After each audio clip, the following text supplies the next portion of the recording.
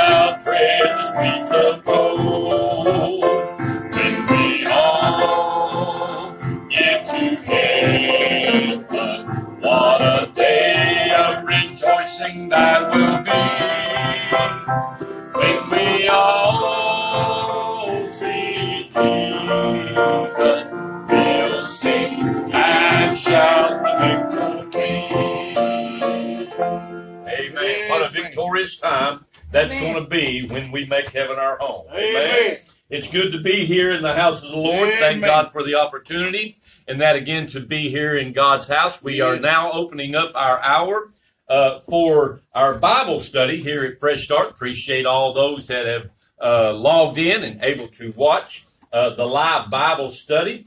Uh, this uh, Bible study that we will be starting in uh, will be in the book of the Revelation. And uh, we uh, appreciate all of the attentiveness and uh, all the prayers uh, that have been going out uh, this week of all the good members of the church and those that watch. We appreciate you. And uh, we just want to say what a blessing it is uh, in that to be in this book of the Revelation. Amen. Amen. Thank God for an opportunity uh, to read the Word of God uh, in uh, uh, liberty. Let me say it that way. And uh, have an opportunity to study the Word of God and have liberty to do that also. Amen. Uh, before we start, I want to say that um, for those that uh, have never uh, tuned into this Bible study, or maybe in the future, if someone gets it and don't understand, this Bible study uh, is a Bible study of uh, the book of the Revelation. It is uh, going to be a line upon line and precept upon precept. And this Bible study will not bring out uh, anything of the rapture. This is a non-rapture study. Uh, this is of the true Word of God. Yes, So sir. therefore, uh, we will clear the air uh, on that. Amen. Amen. Amen. All right. Here we are in the book of the Revelation. I want to say here that the book of the Revelation and the book of Daniel were written for those who live in this final generation. Amen. They go hand in hand. Okay. So, uh, we will be referring a lot to the book of Daniel. And, uh, Brother Mike brought out a wonderful message last night, uh, in the book of Daniel. But I want to go over, uh, in the book of Daniel, chapter 12 and verse number 10. And I want to read to you, uh, one scripture that may help, uh, to understand what we're trying to say. He said here in chapter 10 and verse, excuse me, chapter 12 and verse number 10. Many shall be purified and made white and tried. But the wicked shall do wickedly. We understand that. Amen. We know that uh, that is pretty prevalent. And none of the wicked shall understand. But the wise shall understand. Amen. Amen. So we see here that uh, the wicked will never understand the Word of God, much less the book of the Revelation.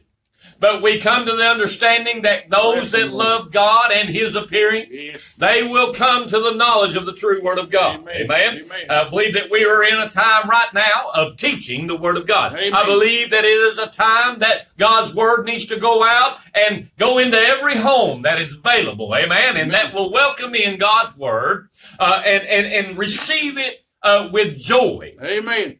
and understanding. So that being said, let us pray. Precious Father, we come to you thanking you for another opportunity and that to be in your house. We ask, Father, for your blessings upon the reading of thy word. We ask, Lord, that you will open hearts and open minds tonight, Father, that, Lord, that the book of the Revelation, God, would be revealed to each and every one and that uh, a preparation, Father, for the days to come. Father, we ask all these things in Jesus' name. Amen and amen. We will study this book line upon line and chapter upon chapter. Amen. And we see in this, uh, this is why the wise shall understand, you see. As we go in and we break down God's word, you will see how that this will work itself out and it will prepare you for that day. Now, uh, if you tuned in early enough, you heard us singing that song, uh, uh, when we all get to heaven. Amen. Amen. And the further we get on into this Bible study, the more that song's going to mean to Yes, you. sir. Amen. Amen. Uh, the more uh, revealed uh, that you'll come to that song. That song's going to mean a lot to you when we get finally down uh, to the end of the book. Amen. All right. As we study this book, many of us living on the earth now will see the events and the prophecy come to pass. I do believe that. I believe we are living in the latter days, and I believe that uh, time has very little uh, and left in that for prophecy to work itself through. I know that there's been things that have been fulfilled, but there is a whole lot more in that to be fulfilled in Amen. prophecy. And I do believe that this generation that we are living in will see. If you don't go by the grave, I truly believe that here in the near future, our Lord and Savior will come. Amen. I Amen. truly believe that. Amen. All right. This is Father's love letter to you, and He wants you to read it. Yes, sir.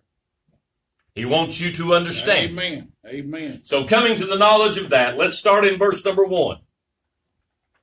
In the book of the Revelation, chapter one and verse number one. The revelation of Jesus Christ, which God gave unto him to shew unto his servants things which must shortly come to pass. And he sent and signified it by his angel unto his servant John. Now we come to the realization here that uh, this is the revelation of Jesus Christ, not the revelation of John. Amen. This is Jesus Christ revelation. Okay. And we see here in that same verse that uh, it's directed to the servants. You see, to the servants of God. Amen. And he said that which will shortly come to pass. If you believe that tonight, say amen. Amen. I believe that this will come to pass. I believe that all of God's word, for the word of God says every jot and every tittle will come to pass in the prophecy, okay? Amen. Amen. So we know that all these things will come to pass. And it says here that it uh, signified it by his angel unto his servant John to do what? To write it down. Okay? That's all John was to do, was to pin it down. Okay? So we see here that John is the scribe for this. Okay? So verse number two, who bear record of the word of God and of the testimony of Jesus Christ and of all things that he saw. In other words, this testimony means that he was a witness, you see.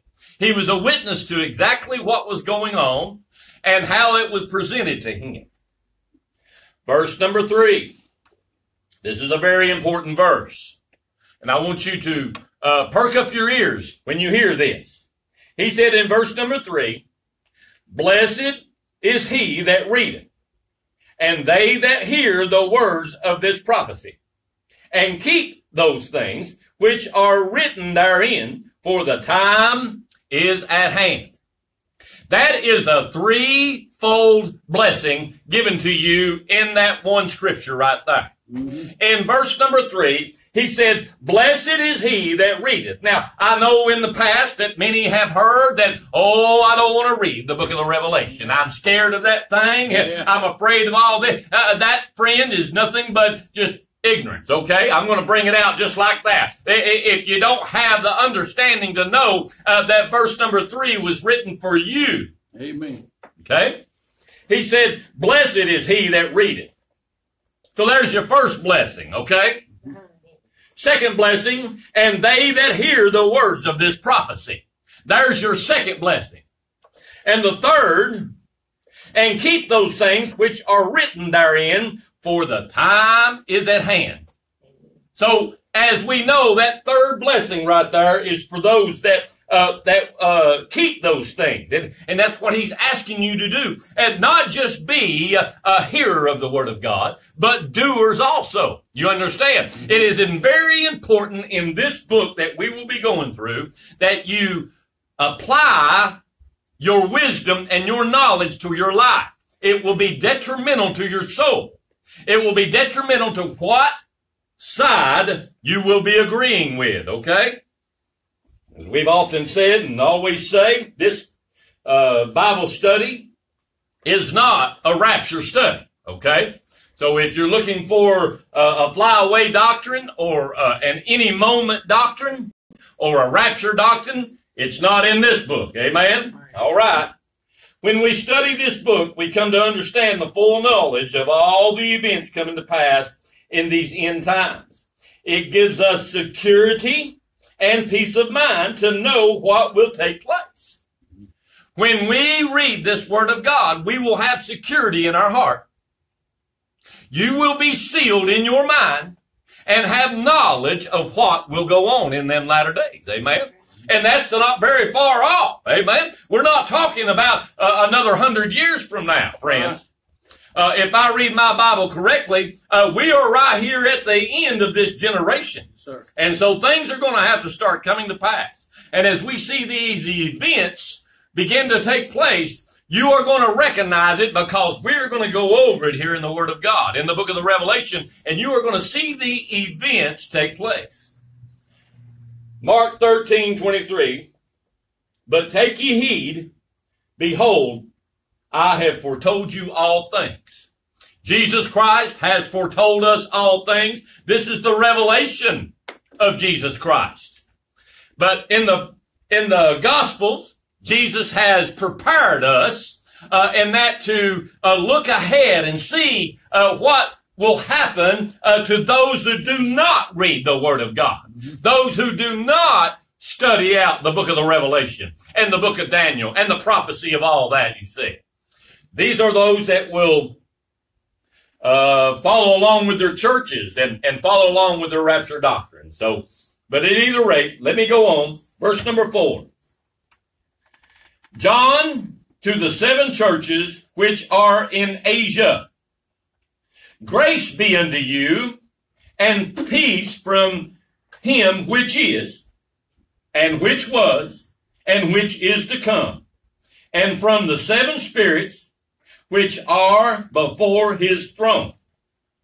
Now, we need to see here tonight that the seven churches of Asia are formed into a circle geographically.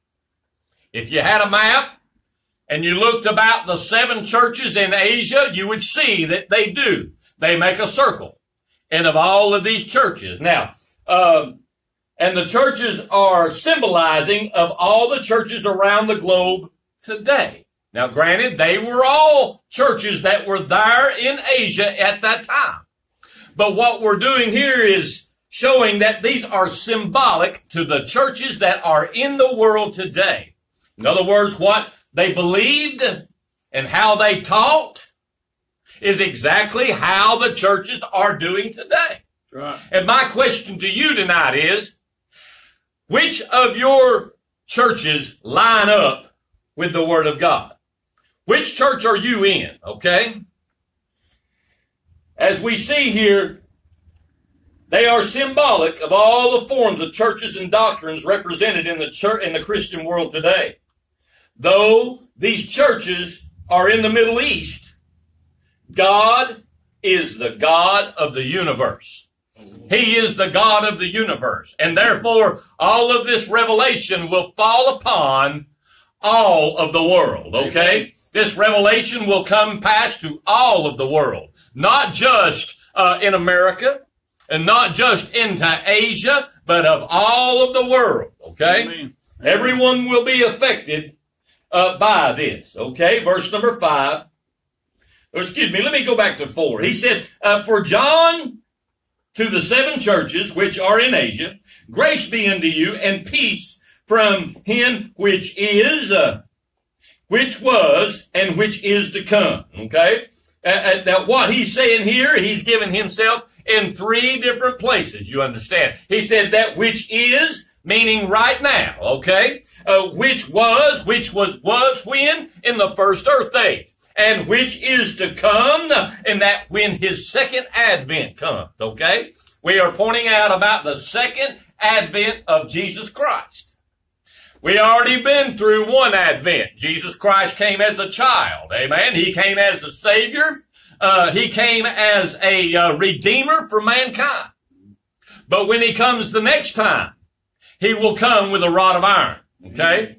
He will be King of kings and Lord of lords. For the word of God tells me that every knee shall bow and every tongue shall confess. Therefore, that's why we know that this is global. This is not regional, but it will be global. For the whole world will see his appearing. Amen. Verse number five.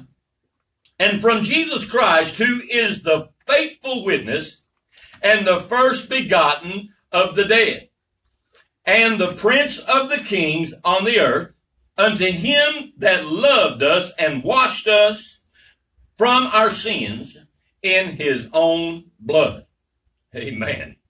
First begotten of the dead. That means of his shedding of his blood. When he shed his precious blood for you and I, he became the first begotten of the dead. Okay? He said here, unto him that loved us and washed us from our sins. I don't know about you, friends, but I am so glad that Jesus Christ did what he did on Calvary. Amen. Amen. And let me say it like this. Uh, you may be book smart. You may have wisdom and have understanding of some of the things, but let me say it like this. If you do not have Christ Jesus, if you have not been washed in the blood of the Lamb, friends, you will not pertain to any part of this Word of God. Right. Amen. You will not be in it. Even though you do have understanding. You see, you must have the blood applied to your heart. Amen. Amen. You must be saved, is what the Word of God says. Yes. Okay? All right. Unto him that loved us and washed us from our sins in his own blood. In other words, he freed you and I, did he not? Let's look over there at Hebrews chapter 2 and 14. Hebrews 2 and 14.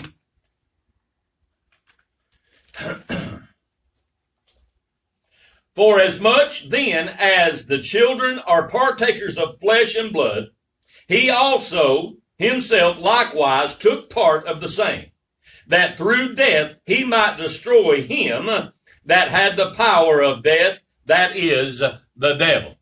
Okay? So we see that Christ is the uh, the first partaker. He, in other words, uh, first begotten of the dead. Okay. Verse number six. And had made us kings and priests unto God and his Father. To him be glory and dominion forever and ever. Amen. Now these kings are your ethnos. Okay. These are those that are overcomers and the elect are your priests in this, that to come in the millennial. Okay. As we see that when the millennial do, does come, when Christ Jesus does come, he will take the elect and allow the, the, uh, the elect to be the priests, you see, the, the Zadok, as would say. Okay, to do the teaching and do the correcting at that time. All right. We'll get a lot more into that later on in the book. That'll come to a whole lot more, and you'll come to realize a whole lot more of that. Okay. Uh, verse number seven. Behold, he cometh with clouds, and every eye shall see him. And they also which pierced him, and all kinders of the earth shall wail because of him. Even so, amen. Now, he said here in verse 7, Behold, he cometh with clouds. Jesus Christ is not going to come on a puffy little cloud. That's not what he's saying. He's not going to come riding in on a cloud like some kind of magic carpet. Jesus Christ is coming with a mass group of people is what the word of God is trying to teach you. Amen. So this is where the raptionists get their clouds uh, and where they think that they're going to be taken away and be called away into a cloud. Let me iterate something for you right off the bat. We aren't going anywhere. Right. Okay? Amen. We aren't going anywhere. If you have a view of uh, maybe leaving this world and going somewhere, and uh, uh, friend, it's not going to be that way. We will always be here. We have always been here, and we will continue to be here. Amen. Amen. We were created in that to inhabit this earth. We were here in the first earth age. We are here now in this dispensation. And when heaven and earth come together and there is a new heaven coming down, amen, Amen. New Jerusalem, Amen. We'll see that it'll be right here uh, on this earth. Amen. And you want to be a part of that, amen? You want to be a partaker in that part, amen? You Amen. definitely do. Amen. All right. He said, uh, uh, Behold, he cometh in clouds. We went over that. Every eye shall see him, and and they also which pierced him. Who are they? They are the Kenites. They are the priests that uh, took Christ into the prison and imprisoned him. They are the Kenites. They are the uh, the Pharisees that took hold of Jesus. They also will see. You say, well, Brother Randall, they're already gone. They're already dead. I'm talking about their descendants. They still are here on this earth. The Kenites are very much around, okay? And all the kinders of the earth shall wail because of him. Now, you can take this in two different ways. There'll be a wail uh, of sorrow. Why is that? Well, there'll be a wail of sorrow for the evil, and there will be a wail of sorrow for the deceived. Who are the deceived? More than likely, it'll be the Christian nations that will be deceived because they'll be looking for a, a flyaway doctrine. When the Antichrist comes, uh, he's going to be preaching a message. Uh, I've come to rapture you away. Yeah. I've come to call you away and take you home with me, you see. But we, as the elect of God, this wailing will be a wailing of joy. Amen. It will be a wailing of joy. Why is that? Because our Savior has finally come and that to redeem that to himself, which belongs to him. Amen. Amen. He come to get his own. Mm-hmm. I'm one of his. That's right. He's coming after me. Amen. Amen. I hope he's coming after you. Amen. I hope that you have your heart sealed and your mind sealed about the Word of God to come to the knowledge of the truth and be prepared for that day. All right? Verse number eight I am Alpha and Omega, the beginning and the end, saith the Lord, which is, and which was, and which is to come, the Almighty. You cannot prepare in that late hour. Do you understand that? You cannot prepare yourself in a late hour. Preparation starts right now. If you have a desire and you don't understand uh, uh, the book of the Revelation, you don't understand how Jesus will come or when Jesus will come. Oh, well, Brother Randall, nobody knows when he's coming. Oh, friends, we do know. How do we know? We know by the events that will take place. That will take place before our eyes, uh, and we will be able to see the time as it comes. As we get on further into the Word of God, we're going to document that. The understanding of this revelation of Jesus Christ must occur before the sounding of the fifth trump. If you are not sealed in your mind by the sounding of the fifth trump, it may not be pretty. It may not be pretty for you, okay? So we need to realize that uh, there needs to be something done. We need to open up our hearts and our minds as Christian nations and come to the realization that uh, there's going to be one trying to deceive us. There's going to be one coming that's going to try his best, and that to deceive you and I. That's what he's coming to do. The first one on the scene is always a liar. Always remember that. Jesus said, if they say I'm in the temple, go not there. If they say I'm in the desert, go not there. Why is that? Because he's not the real Jesus. He that endureth to the end, the same shall be saved. Amen. So we will endure till the end. We know that Christ comes at which trump? At the last trump class. Amen. At the last, the furthest trump out. So what do we do? How do we know that we get a hold of the right one? We wait upon him. Amen. We wait. We tarry until he comes, is what the word of God says. We have to tarry until he comes. Yes. That's the trick of it all. Don't be fooled uh, by the uh, woos of the Antichrist. Don't be fooled by his message and his uh, prosperity and his peace. You see, he's going to come in very prosperously. He's going to come in very peacefully. He's going to come in in a way that everyone's going to think he is Jesus himself. Why is that? Because he's going to be sitting on the throne of God, calling himself God. But we are going to have more wisdom than that. We're going to be prepared, okay? Verse number nine. I, John, who also am your brother and companion in tribulation and in the kingdom and patience of Jesus Christ, which in the isle that is called Patmos, for the word of God and for the testimony of Jesus Christ. He is a uh, partaker. He is a companion and partaker of the kingdom of God, you see. He also will be there, friends. Not a if, but when we make it into the kingdom of God, you will see John. Amen. Amen. You will be there with these great prophets, with these great disciples, with these great apostles. Okay? We will all be there together. Verse number 10. I was in the Spirit on the Lord's day and heard behind me a great voice as of a trumpet. Now, friends, listen to me, sharpen up. This was not on a Sunday. This was not on a Saturday. This wasn't a day of worship. This is the day of the Lord. What day of the Lord?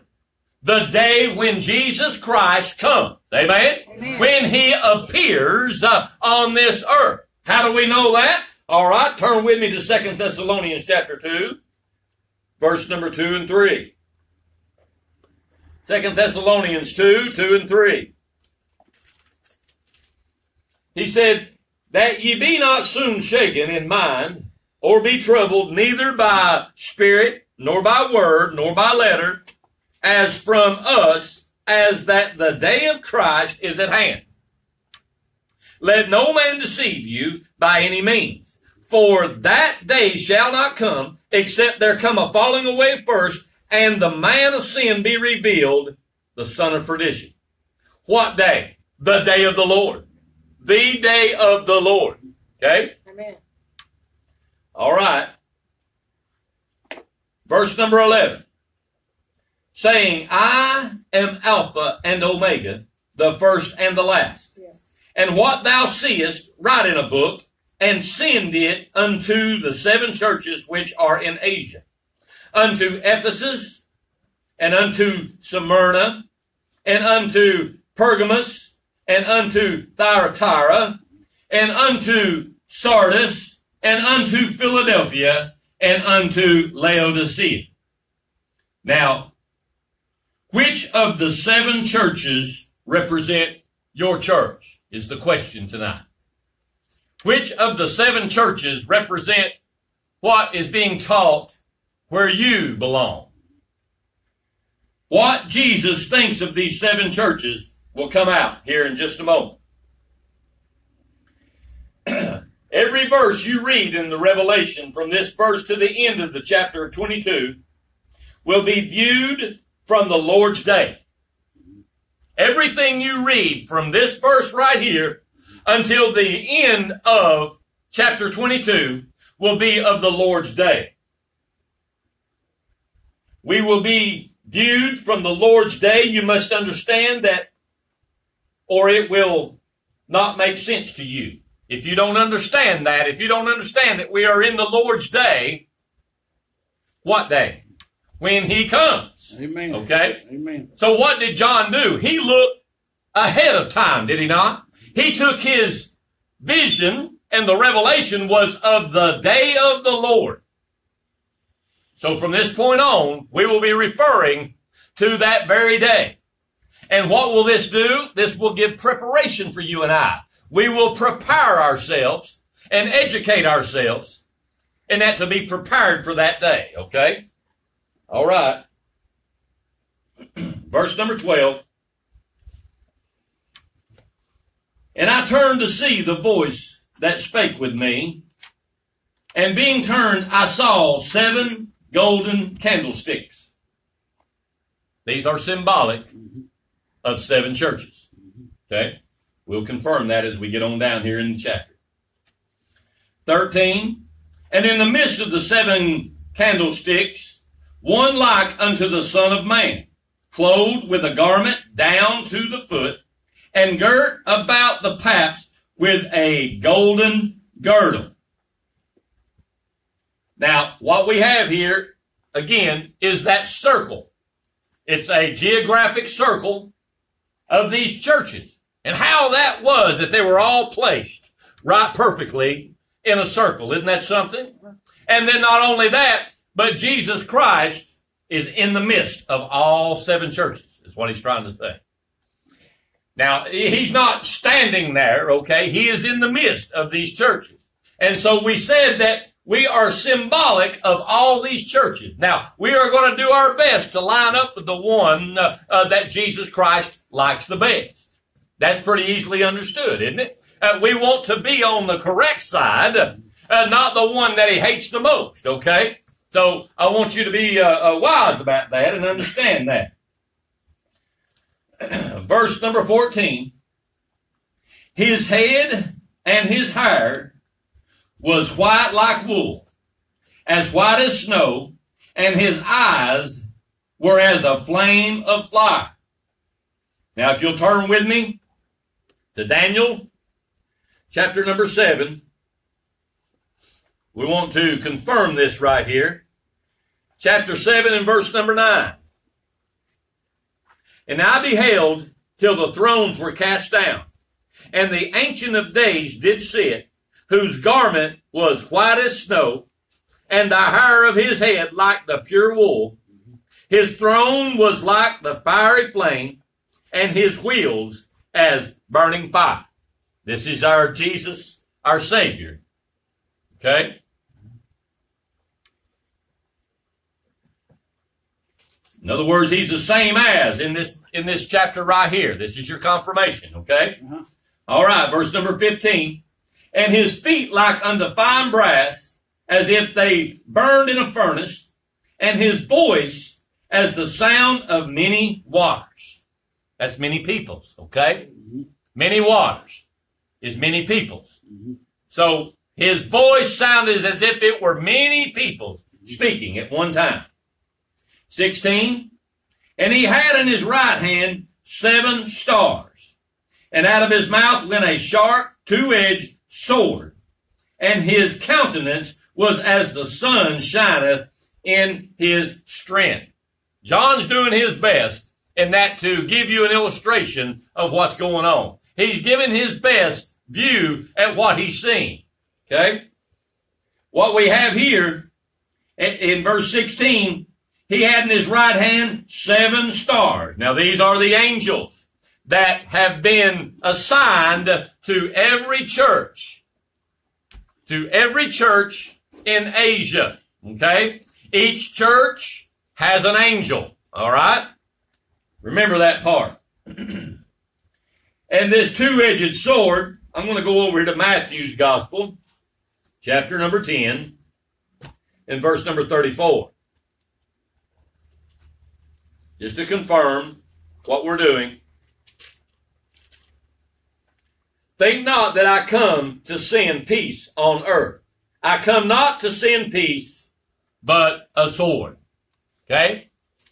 Jesus come and that to make a division, a right division for a reason. He come to divide the world. Divide what?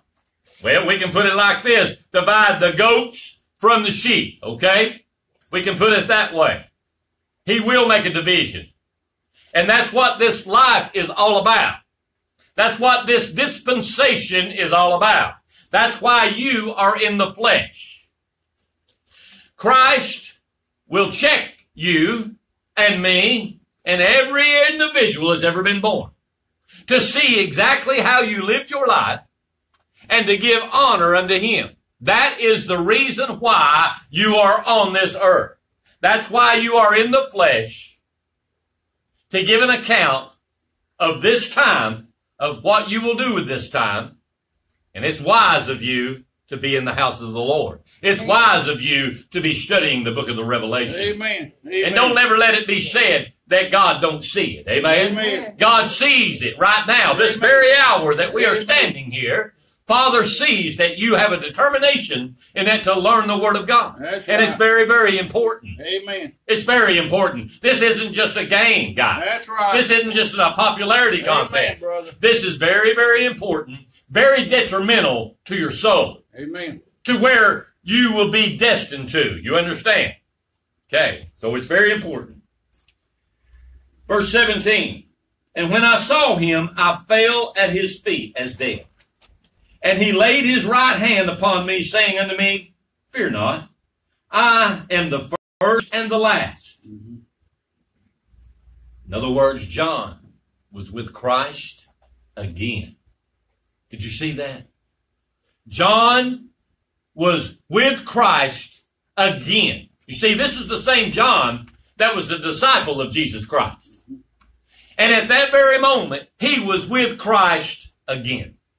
What a blessing that was for John to be able to be in that part at that very moment. Amen. What a blessed time. Amen. Amen. I, I don't know what uh, uh, I would think if this revelation were to have fallen on me, Brother Bob. I don't know how I would have handled it. I, I, it would have been a very large load. It would have been a very large responsibility to be able to take on and to see futuristic of all these things that are coming to pass. Amen. But John is doing his best in that to reveal to you and I Amen. what he is seeing. Amen. Okay? Amen. All right. Verse number 18. I am he that liveth and was dead. And behold, I am alive forevermore. Amen. Can I get an amen? Amen. Amen. Amen. And have the keys of hell and of death. Amen. Jesus is very much alive. Yes, sir. He's not dead. This book is very much alive. Amen. It's not dead. Amen. Uh, like a lot of people will have you to believe that uh, the Word of God is so outdated and, Yes, sir. and it doesn't mean anything. Nothing's going to come to pass. Friend, don't listen to those lies. Amen. Don't listen to people that want to try to take you and, and drag you away from the book of the Revelation. Amen, brother. It's a blessing. What I read to you Yeah. in verse number three, That's blessed right. is he that readeth and they that hear the prophecy of this book. Amen. Amen. It's important that we realize that Jesus done this for our behalf. Yeah. Amen. He done it for our behalf. Why is that? Because he loved you. How much did he love you? He loved you this much, friends. He loved you enough to stretch his arms out and to be nailed to an old rugged cross. Amen. I mean to tell you, he wasn't just standing there on a stoop. That's right. Friends, they nailed that man. Amen. They took big spikes and nailed him to a cross. Amen, brother. And his precious blood fell upon the ground Yes. For you and I, for That's our right, sins. brother. Amen. This book is alive. Yes, sir. Jesus said, Lo, I come to you in the volume of the book. Amen. So therefore we see that Christ is doing his best to wake us up, Amen. to open our eyes, and let us see what's going to happen in the future, okay? Amen. Thank you, Lord. All right. He said, and have the keys uh, of hell and death. Boy, I'm glad of that, aren't you? I'm glad of that. Amen. What's that mean to you, Brother Randall? Uh, that means to me that he's going to be able to put Satan exactly where he belongs. Yes, Amen? sir. Amen. He has that key. And he's going to do his best that none of his children perish. Right. None of them. Amen. What did he say? He said uh, he would leave the 90 and 9 Yeah. and that to go all through. Friends, he's the good shepherd. Amen. He loves you uh, Amen. and cares about you. Amen. Amen. He cares enough that he would write and pin this down for you Yes, sir. so that we wouldn't be damned and believe a lie. That's right. What the word says. That's right. Okay? Verse 19. Let me back up. 18. He said, The keys of the hell of death, uh, of hell and of death, mean you have the authority and control of what to do with these keys. What is on the other side of this physical life is eternally up to you and how you control it. That's right. To escape out of hell and the second death. That's right.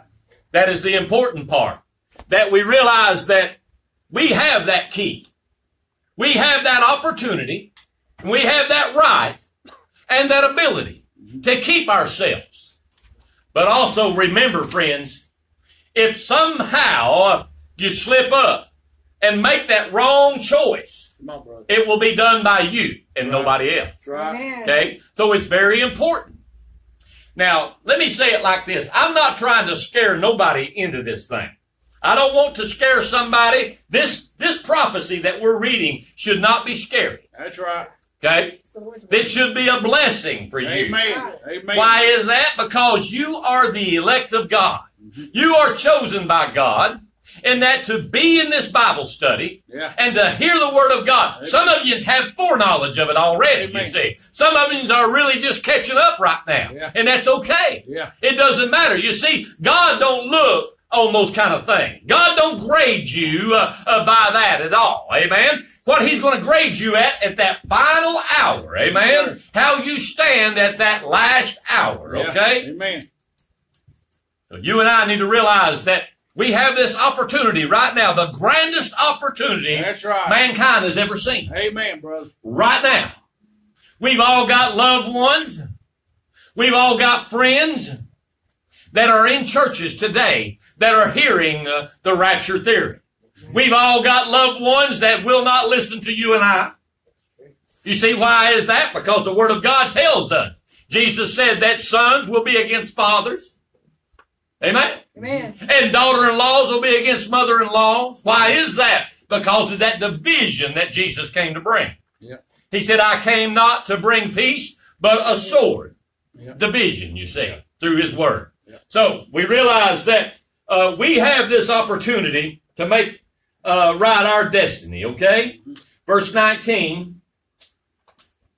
Write these things which thou hast seen, and the things which are, and the things which shall be hereafter.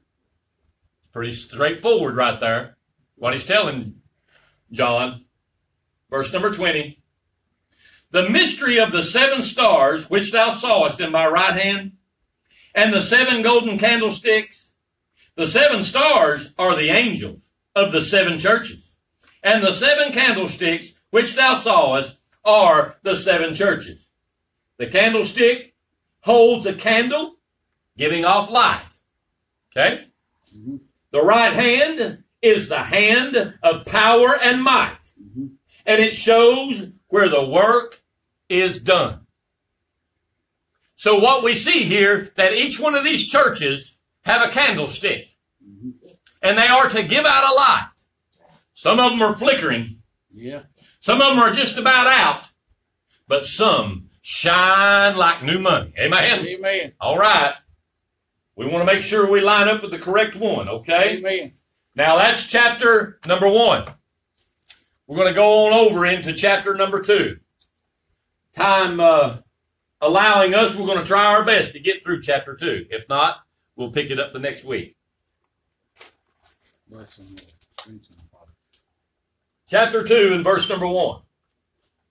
He said, Unto the angel of the church of Ephesus write these things, saith he that hold the seven stars in his right hand. Who is that? Jesus. Amen. All right. Who walketh in the midst of the seven golden candlesticks. Now who's that? That's also Jesus, okay? That's the same one. He said, verse number two, I know thy works and thy labor and thy patience and how thou canst not bear them which are evil.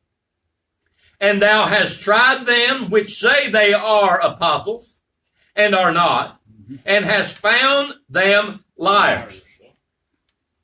They say that they are apostles. They say that they know all the, the word of God. They say that they have uh, worked and walked along with God, but they're liars.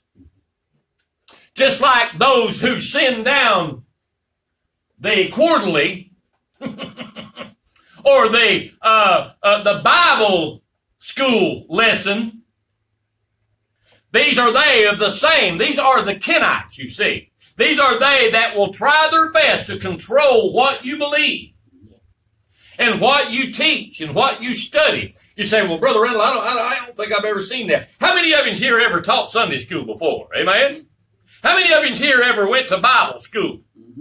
All right. When you go into some Sunday schools, they have what's called a quarterly. Yes, sir.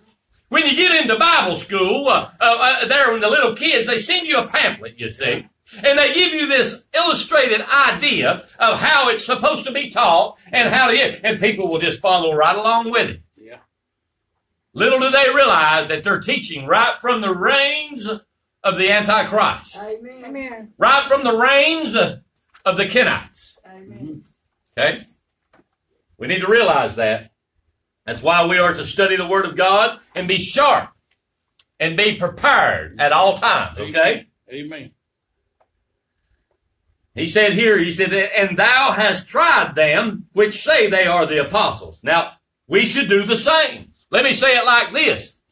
If somebody comes to you and wants to try to teach you the Word of God, what are you to do? You are to try them. Amen? Test them. See what they know. Ask them questions. What kind of questions should I ask them, Brother Randall? Well, ask them exactly the question that they need to be asked.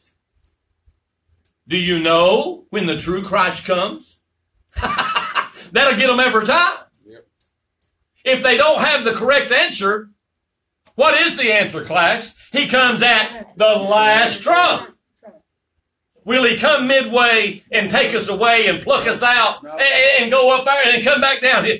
No. The Word of God does not tell us anything like that. No.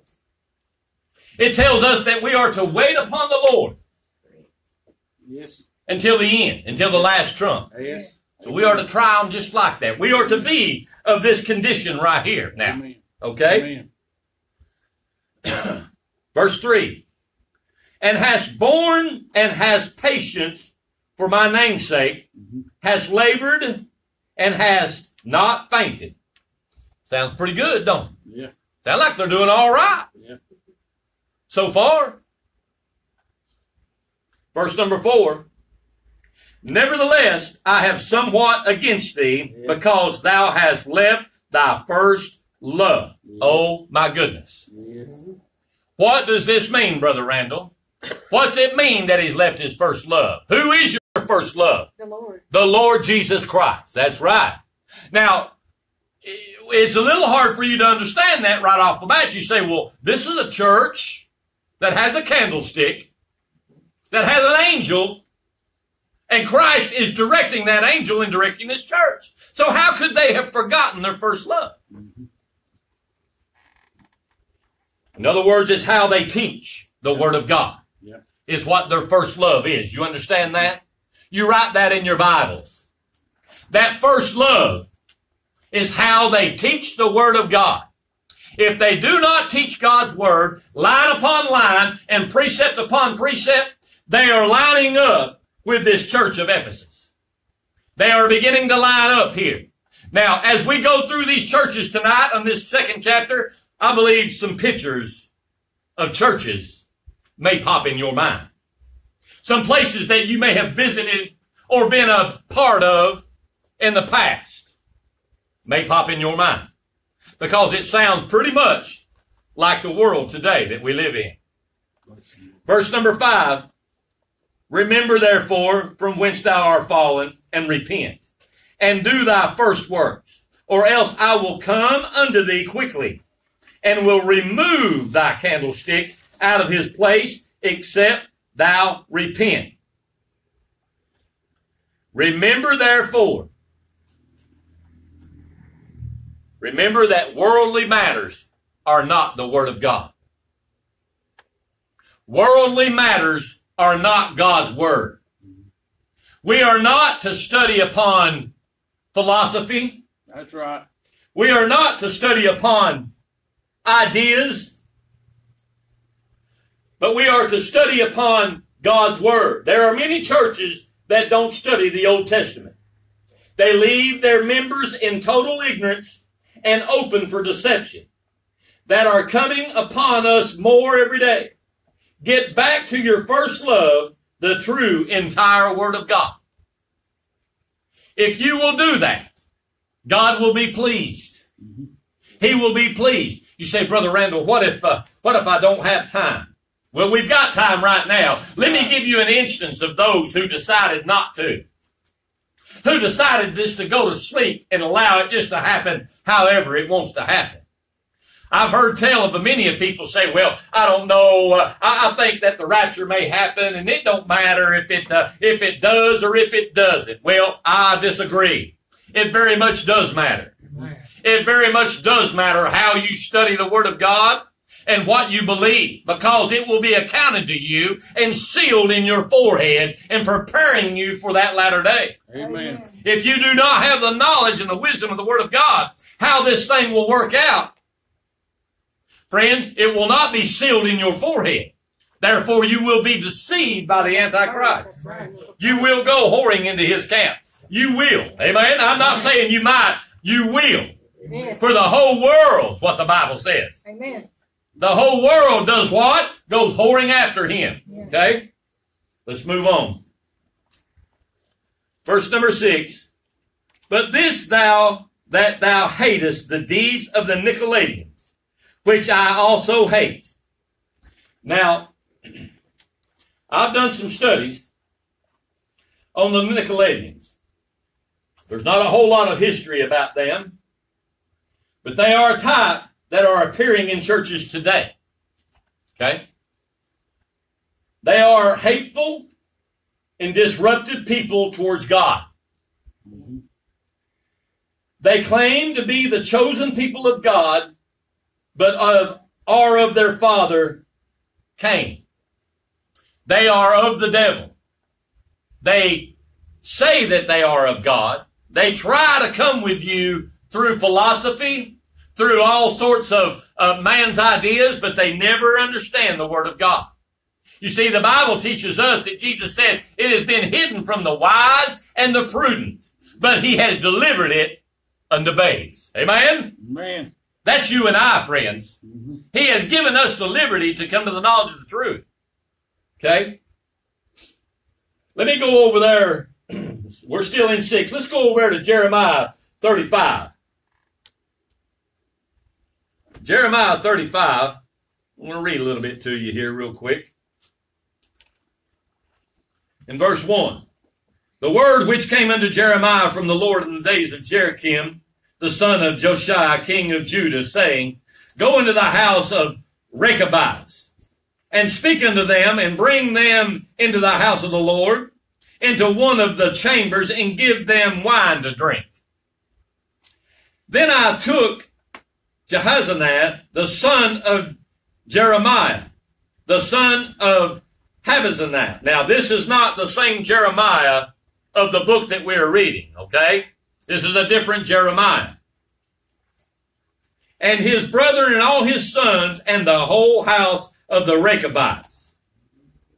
And I brought them into the house of the Lord, into the chamber, and the sons of Hanan, the sons of Igdaliah, a man of God, which was by the chamber of the princes, which was above the chamber of Maaseiah, the son of Shelim, the keeper of the door. Verse 5, And I set before the sons of the house of Rechabites pots full of wine and cups. And I said unto them, Drink ye wine. Now, this wine that they are to drink is symbolic unto the blood of Jesus Christ. Okay? Now, you're going to see something here. Verse 6, But they said, We will not drink wine.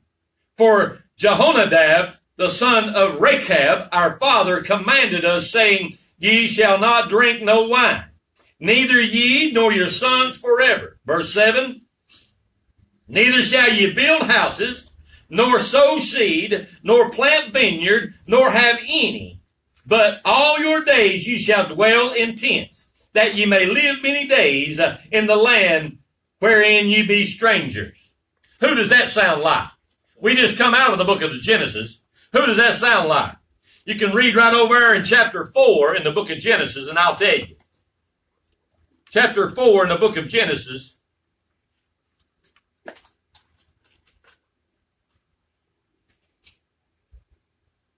In verse number 12. When thou tillest the ground, it shall not henceforth yield unto thee her strength. A fugitive, a vagabond shalt thou be in the earth. And Cain said unto the Lord, My punishment is greater than I can bear. These are the descendants of Cain. These are the descendants of Cain, which are of the seed line of Satan, which are the same here in the book of Jeremiah, which would not partake of the blood, which are the same over here in the book of the Revelation, which are the Nicolaitans, okay? And these are the same that are in your churches today. They are in your churches trying to disrupt and corrupt and to break down the Word of God. When you try your best to stand and teach God's Word, you have a disruptance, you understand. Why is that? Because people don't want to hear it. That's right. It goes against all they ever heard. It goes against their traditions of man. It goes against their belief, and they think you're teaching doctrines of devil Yeah. Amen. when you are truly teaching the Word of God. Amen. That's when Matthew chapter 5 comes in. Amen? Amen. The Beatitudes. He said, Blessed are they that are persecuted wrongfully for my name's sake. Amen? Amen. That's why we stand upon the Word of God. Amen. That's why we don't care. I don't care who at our lips. Amen? Amen. I'm going to teach the Word of God. Amen. You want to shut me up? You're going to have to kill me. Amen? Amen. I'm going to teach it until I go. Amen? I'm going to teach the Word of God the best that I possibly can. As long as my mind is sharp, I'm going to do my best in that to teach God's Word. Line upon line and precept upon precept. That's what I've been called to do. Woe is unto me if I preach not the gospel. Amen. I've got to do it. It's imputed in me. Hopefully that you can get that same spirit that God will put upon you and that to be a witness for Him. Amen. Okay? We need to recognize these people, okay? Amen. We need to recognize them for what they are. I hope that helped you on the Nicolaitans, okay? Amen. Verse number seven. He that hath an ear, let him hear what the Spirit saith unto the churches. Mm-hmm. To him that overcometh will I give to eat of the tree of life, which is in the midst of paradise of God. So what's he saying here in verse number seven? He that hath an ear, let him hear what the Spirit saith unto the churches. He that has an ear Yeah. of wisdom, Yeah. let him hear what I just said and brought out in this Bible study hour. That you may realize that there are people out here trying to tear down churches every day. Trying to tear down the Word of God. Trying to keep it under half where it can't be taught in the right way. Amen. He said, to him that overcometh will I give to eat of the tree of life. So what's he saying here? He's saying that in this church of Ephesus, there will be some. In this church today that is teaching like this, not this church, but the churches that are teaching of this matter, if you overcome and you get out of that church, he said, I will give you uh, the tree of life which is in the midst of the paradise of God. That's your promise. If you will listen to the word of God and you will come out from amongst that people, you got to make that separation yourself. Amen. Oh, but I've been in fellowship with these people all my life, Brother Randall. It's so hard for me to just to break fellowship. Well, you can do it in a loving way. I, I know what I done. I got my family by the arm and I got up and got out of there, Brother Bob. Amen. When I come to the realization they wouldn't let me teach God's word like it need to be taught, God said, that's enough, son. Amen. You've extended your hand long enough. Ain't it about to fall off? Amen. Ain't your arm about getting heavy? Amen. You've extended your hand long enough. It's time for you to move on. Amen. And God will open the door for you if you will step out in faith and do God's will and prepare your family and yourself for the coming of the Lord. God will open the door for you. Yes. He said he'll open a door that no man can shut. Amen. And he will shut behind you doors that no man will ever open again. Amen. It's up to you to decide. Amen. Amen. All right, verse number eight. And unto the angel of the church in Smyrna write, These things saith the first and the last, which was dead and is alive. I know thy works and tribulation and poverty, but thou art rich.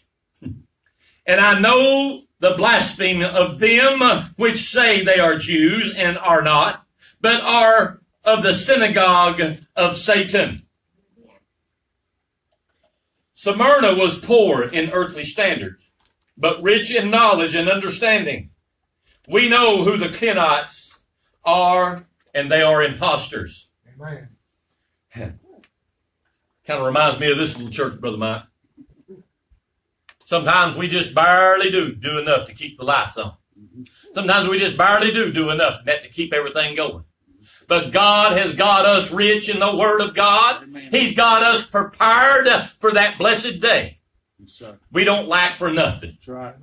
I don't want a big old bank account and that to flash in front of somebody's eyes. Yep.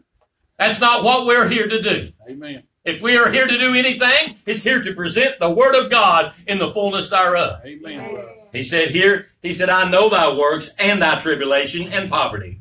He said, but thou art rich. Don't think yourself of poor folks. Don't think yourself of having nothing. See, we're just a group of people over here on a Monday night trying that to study the Word of God. Just doing our part, amen? We don't have a whole lot, Amen. but God says we are rich. We are rich among mankind today. How many people do you think out there understands this word? Not a lot. Why is that? Because they're not teaching it in their churches. Amen. They're not passing it on to the flock. They're not giving it to the people and have to be prepared, you see. They want to fill them up with philosophy and ideas of man. Okay? We understand the seed line of Satan. Therefore, we are rich, having the key of David. What do you mean by that, Brother Randall? We have the key of knowledge and understanding. That key that unlocks the scriptures. That key of wisdom to come to knowledge of the true word of God. And we know that seed line. That's exactly what we have to do. Verse number 10. For none of these things which thou shalt suffer. Behold, the devil shall cast some of you into prison, that ye may be tried, and ye shall have tribulation. How long, Brother Bob? Ten days. Amen. That's all. He didn't say 11 days. He didn't say 150 days. He said 10 days is all you will have time. Amen. Amen. That is it. That is the last 10 days. Amen. And that you will be tried. And you will have tribulation. Be thou faithful unto death, and I will give thee a crown of life.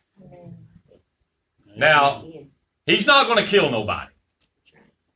I'm going to bring that out right now. The Antichrist ain't going to kill nobody. Only the people he's going to kill are two.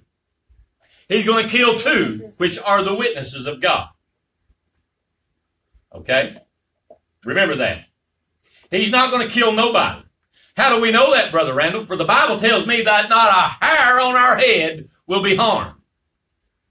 That we will go through this tribulation and Christ will hold our hands all the way through. Just as the example of Shadrach, Meshach, and Abednego. Amen. As they went through the fiery furnace, Yeah. Christ was in the midst, Yeah. right with them all the way through it. Amen. Bible says there wasn't even smoke on their clothing, That's right. nor was there a hair singed on their head. Amen, Amen. brother. Therefore, tribulation will last 10 days for those who are tried, you see. Yeah. What a blessing that'll be. Amen. And that'll happen at the last trump. Amen. Soon as that happens, that's when the last trump comes, okay? So that's your last 10 days upon earth, and that's okay. You ain't got nowhere to go nowhere. Amen. You ain't got no nothing to go back to. You ain't got to worry about nothing. There ain't no concern about going back and, and reestablishing yourself or uh, getting yourself back in line. And, friends, we're going to a better place. Amen. Right. Amen. Going to a better dispensation. Amen. Man. All right. Verse 11. He that hath an ear, let him hear what the Spirit says unto the churches. He that overcometh shall not be hurt of the second death. If you overcome and you do not go into the camp of the Antichrist and you wait upon the Lord, the second death will have no effect to you. What is the second death? The second death is the death of the soul. That is where the soul will die. How many of you has ever seen a flesh body die? We all have. But we've none seen a soul die. One day we will. One day there will be some that will be cast into that lake of fire. And their souls will die at that very moment. You do not, let me repeat, you do not want to be a part of that. Okay? Amen. Amen. All right. This is what all this preparation is about. That you keep your name in the book. That's the key to it all, guys. That you keep your name in the book. Okay? Verse number 12. And to the angel of the church in Pergamos write these things, saith he which hath the sharp sword with two edges. Now this sharp sword, a pruning is going to take place. Amen. And it's called discipline. Yes, sir. It's going to be a pruning. Okay? 13, he said, I know thy works and where thou dwellest, even where Satan's seat is. And thou holdest fast my name and hast not denied my faith, even in those days wherein Antipas was my faithful martyr, who was slain among you where Satan dwelleth. 14, but I have a few things against thee, because thou hast there them that hold the doctrine of Balaam, who taught Balak to cast a stumbling block before the children of Israel, to eat things sacrificed unto idols, and to commit fornication. Now, here in verse 14, these here are also conjunction with the Nicolaitans. Okay? They have that same identical idea of what they have done, you see. What Christ is saying here, he said that they had, because thou hast there in them that hold the doctrine of Balaam. In other words, these are like spiritual beggars for money. Balaam was a minister of God. But he done it for what? He done it for money. How many of these have you ever seen out here that show a big show, throw up a big tent and get a lots of people to come? They do it for the money, friends. They tell you they're doing it for the lost souls. But you get them over there and you don't cut them a check. You get them over there and get them to preach and get them to stand for revival for several days and you don't cut them a check. You see how mad they get. They ain't doing it for the cause of God. They're doing it for the cause of the almighty dollar. Amen. And these are they that line up with Balaam and who taught Balak to cast a stumbling block before the children of Israel to eat things sacrificed unto idols and to commit fornication spiritually. Okay? Now they weren't doing those awful acts inside the house of God. These are spiritually, they are doing these. Okay? And what they're doing, they're taking you away from learning the true word of God. They are seducing you as in how Satan wholly seduced Eve. Spiritually seduced her. In the same concept, okay? Verse 15. So hast thou also them that hold the doctrine of the Nicolaitans, which thing I hate. You see that? Okay? So it's the same, you understand? Verse 16 Repent, or else I will come unto thee quickly, and will fight against them with the sword of my mouth. If money is more important than God, then you might want to repent. If you're concerned more about the money that comes into the house of God, if you know people that are over uh, the income of the house of God, and their ideas and their uh, understanding is more important about those books of finance than it is the Word of God, something's wrong with their heart, friends. You might want to get them out of the position that they're in. I've heard tell of churches that want to see your tax returns. They want to see how much income you have so that they can jot down and do the math for you to let you know how much you are to tithe to that church. Let me say this, that the tithes go to the church. Amen. If your man of God is taking the whole tenth that you give, then there's something wrong. And especially if he's not feeding you the word of God, you're in trouble. He said here in verse 17, He that hath an ear, let him hear what the Spirit says unto the churches. Amen. To him that overcome will I give to eat of the hidden manna, and will give him a white stone. And in the stone a new name written, which no man knoweth, saving he that receiveth. That hidden manna is the angel food for the spiritual body. That's that spiritual food, friends. He will give it to you if you overcome.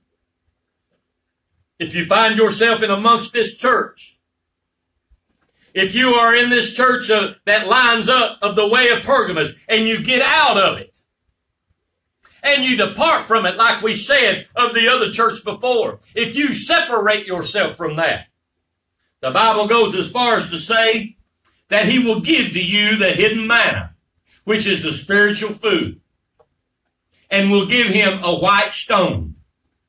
This white stone is the stone of victory. It's a stone of victory, friends, is what that means. It's a stone that'll be given to you because you are an overcomer and you did not fail. And on that stone there'll be a new name, which no man knoweth, saving he that received it. What a blessing that's going to be.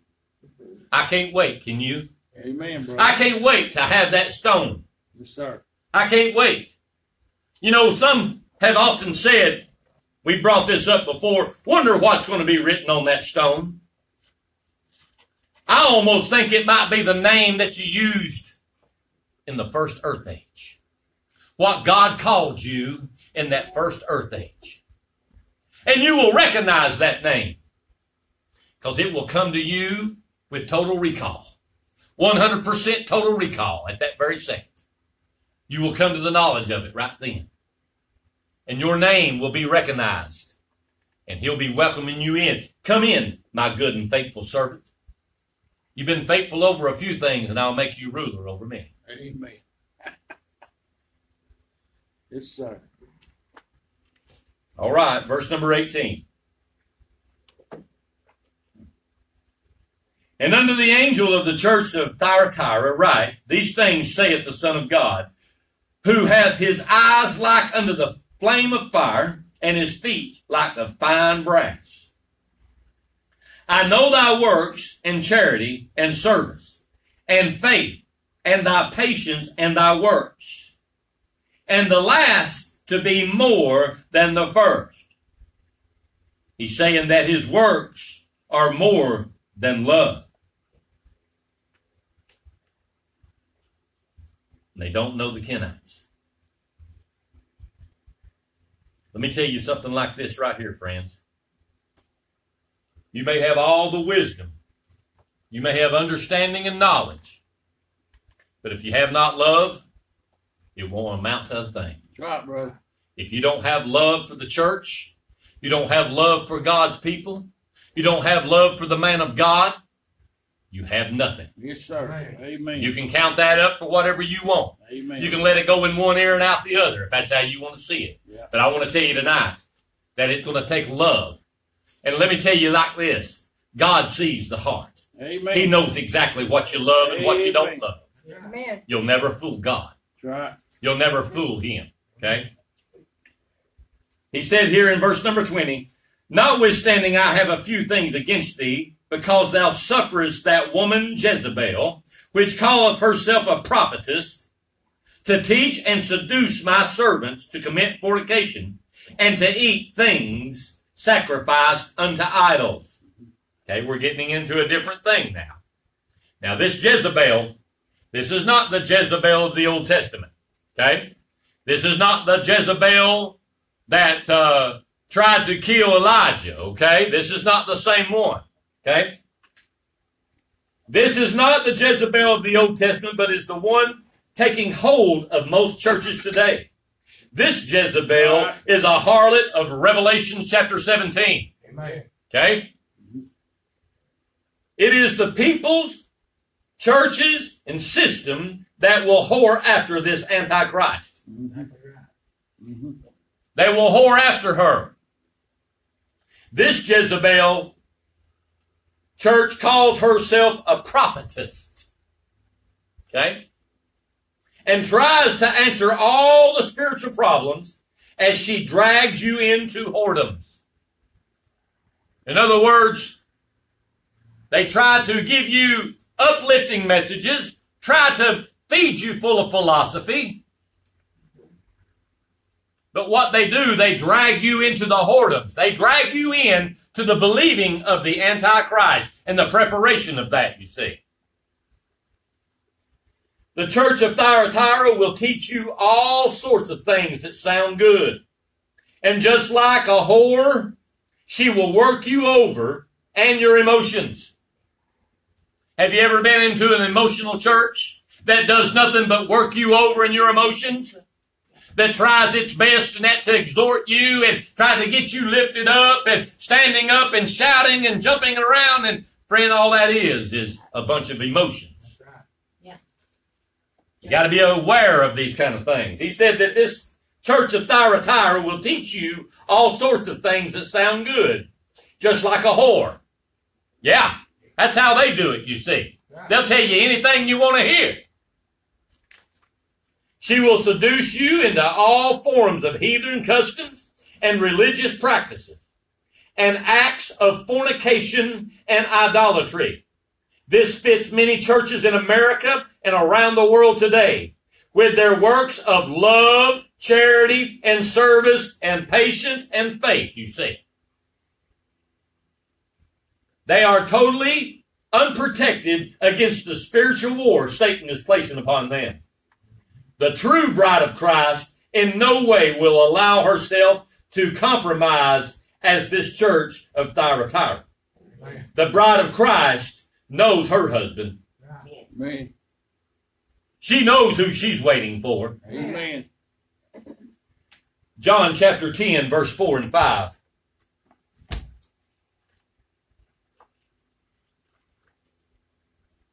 And when he put forth his own sheep, he goeth before them, and the sheep follow him, and they know his voice. Mhm. And a stranger will they not follow, but will flee from him, for they know not the voice of strangers. Amen.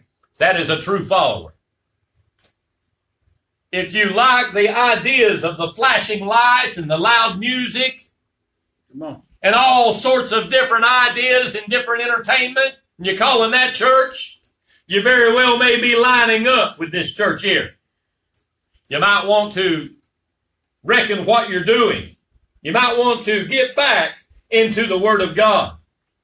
Verse 21, I'm going to try to get this finished.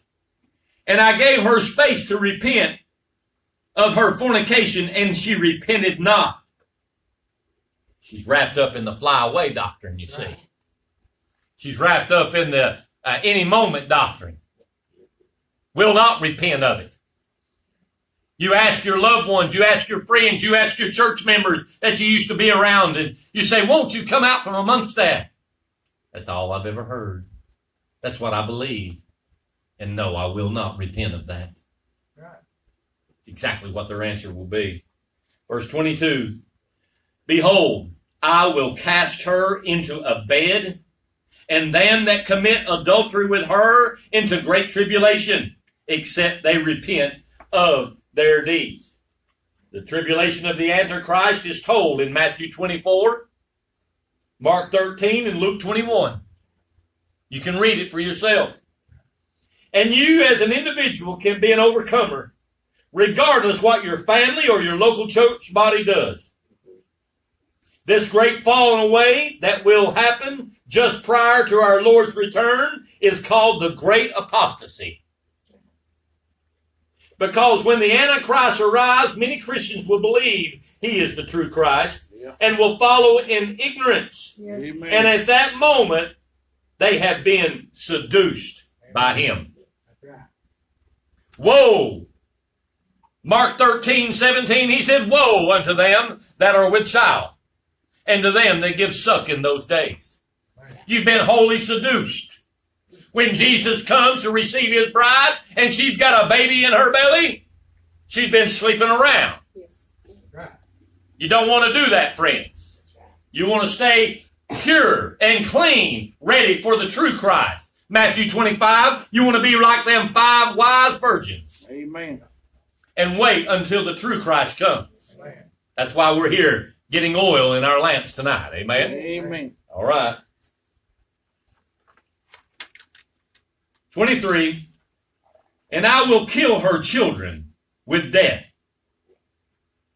And all the churches shall know that I am he which searches the reins and hearts, and I will give unto every one of you according to your works. At this time, grace is gone, you see.